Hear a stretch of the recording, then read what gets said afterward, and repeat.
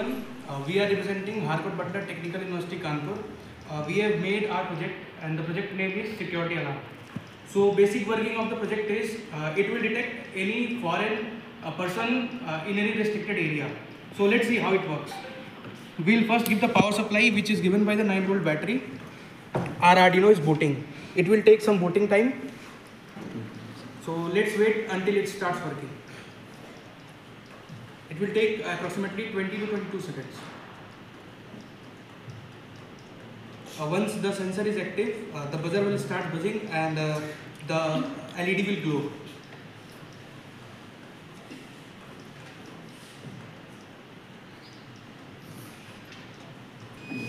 The sensor is now in active state and uh, our PIR motion sensor is calibrating. So it will, now it has calibrated, the uh, buzzer is off. Now when, whenever our PIR sensor, this is PIR sensor, whenever it detects motion, uh, it will give the output to the breadboard which will turn on our buzzer and the LED. So uh, wait for some time for 20 seconds.